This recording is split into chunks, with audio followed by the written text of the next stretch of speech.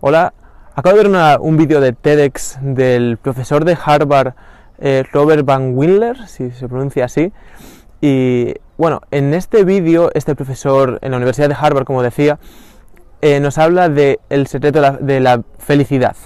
¿Y en qué se basa para darnos el secreto de la felicidad? En un estudio que él es el, del cual es el director ahora. Es el estudio más largo que se ha hecho en la historia de la humanidad.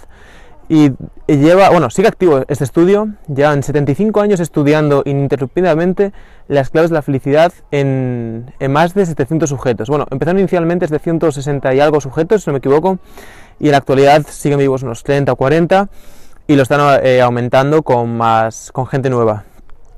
En sus inicios, los, los pioneros de este, de este experimento eh, seleccionaron entre esos 700 sujetos a gente de Harvard que estaba en el segundo año de carrera, o sea, con 20 años, 19, 21, y gente de los barrios más bajos de Boston que no tenían ni para pagarse la calefacción ni la electricidad. O sea, eligieron como la élite más o menos, gente, eh, gente joven que venía de familias elitistas y gente que estaba en el otro extremo que no tenía recursos de ningún tipo. Durante estos 75 años lo que han hecho ha sido eh, anualmente hacerles una serie de cuestionarios, eh, hacerles radiografías, preguntarle a sus médicos su estado de salud, mirar su alimentación, hablar con sus esposas, parejas, hijos, familia, con todo, o sea, los han estudiado a fondo a estos 70 y- 700 y pico individuos. Y han descubierto que la clave de la felicidad es una. Eh, en su inicio les preguntan qué consideraban que era la clave del éxito en la vida. Y esta gente les decía cosas como ser famosa o hacerse millonarios. Eran las dos cosas los dos eh, temas principales, ser famoso o hacerse millonario. Obviamente no sabían que este estudio iba a alargarse tanto en el tiempo. Después de 75 años, el profesor eh, Robert, como decía, ha llegado a la conclusión de que la clave de la felicidad es tan solo una, y es tener amistades cercanas. Amistades cercanas eh, los playa en tres puntos. O sea, tener por una parte amistades cercanas, gente. No conocer un montón de gente, eso no es tan importante como tener gente que conozcas bastante bien y sea cercana. Ese sería el punto uno. El punto dos sería que eh, es mejor la calidad que la cantidad. No tener mucha gente, aunque tengas unos cuantos, es suficiente si los conoces bien y, y sois cercanos.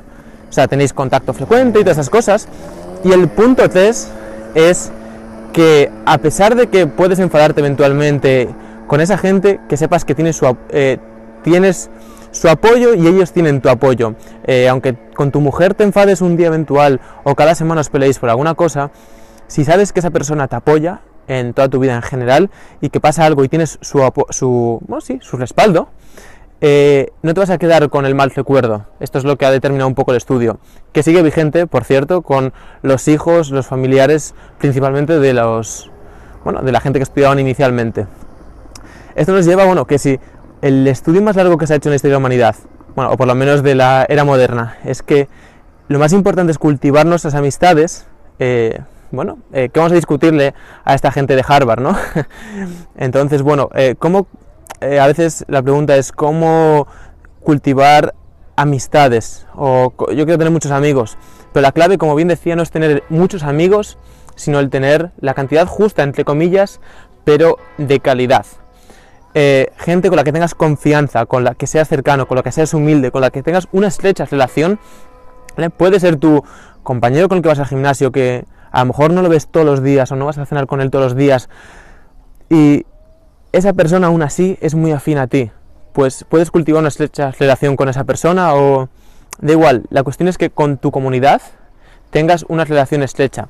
Y esto lo relacionaban con que eh, las enfermedades mentales tienen mucho más peso en aquella gente que no se relaciona tanto, eh, bueno, pues con, con su entorno, por así decirlo, ¿no? Decía de pasar más gente, o sea, más tiempo con la gente que pasarlo con una pantalla. Y era un poco esto, porque el relacionarnos eh, nos hace más felices.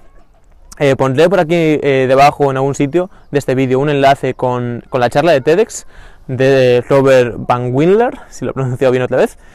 Y bueno, espero que os haya gustado. Y bueno, ya sabéis, hacer muchos amigos por ahí.